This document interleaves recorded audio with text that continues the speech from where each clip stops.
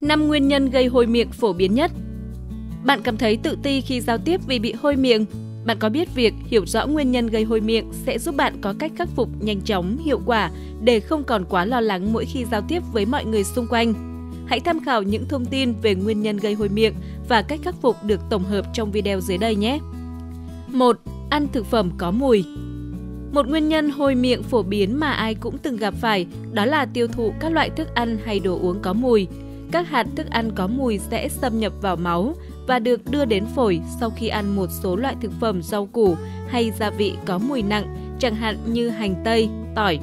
Đây là nơi thực phẩm có mùi sẽ gây ảnh hưởng đến mùi hơi thở mỗi khi bạn thở ra. Chính vì vậy, những thức ăn này là nguyên nhân gây hôi miệng đầu tiên phải kể đến. 2. Vệ sinh răng miệng kém Nguyên nhân gây hôi miệng này khá phổ biến ở trẻ em và người lớn tuổi. Việc không đánh răng, làm sạch kẽ răng đúng cách hay không làm sạch lưỡi sẽ khiến các hạt thức ăn vẫn còn lưu lại trong miệng. Vi khuẩn trong khoang miệng sẽ phân hủy những phần thực phẩm còn sót lại và có thể gây ra mùi hôi. Ngoài ra, sự phát triển của vi khuẩn còn làm tăng nguy cơ mắc các bệnh về răng miệng. 3. Bệnh nha chu là nguyên nhân gây hôi miệng. Bạn có từng thắc mắc hôi miệng là triệu chứng của bệnh gì hay không? Câu trả lời sẽ có ngay sau đây. Theo các chuyên gia sức khỏe, bệnh nha chu có thể là thủ phạm gây ra tình trạng này. Nếu bạn không vệ sinh răng miệng kỹ sẽ khiến mảng bám không được loại bỏ triệt để. Theo thời gian, các mảng bám sẽ cứng lại, tạo thành vôi răng và không thể loại bỏ bằng cách đánh răng thông thường. Vôi răng có thể gây kích ứng nướu, tạo lỗ nhỏ hình thành ở khu vực giữa răng và nướu.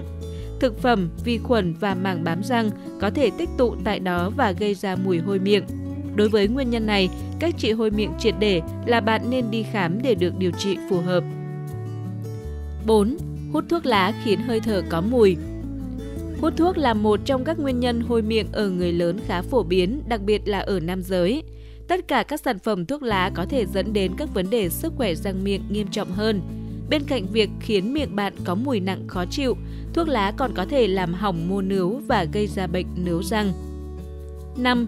Khô vùng miệng Khô miệng là một trong các nguyên nhân gây hôi miệng thường gặp. Theo các chuyên gia nha khoa, nước bọt có chức năng giúp giữ cho miệng sạch sẽ bằng cách loại bỏ các hạt thức ăn gây hôi miệng.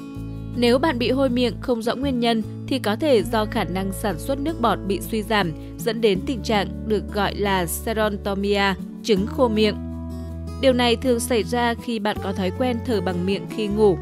Đó cũng là lý do tại sao hầu hết mọi người thấy hơi thở của mình có mùi khó chịu mỗi khi thức dậy. Nếu tình trạng khô miệng kéo dài, bạn nên đi khám để được kiểm tra để được tư vấn cách điều trị phù hợp.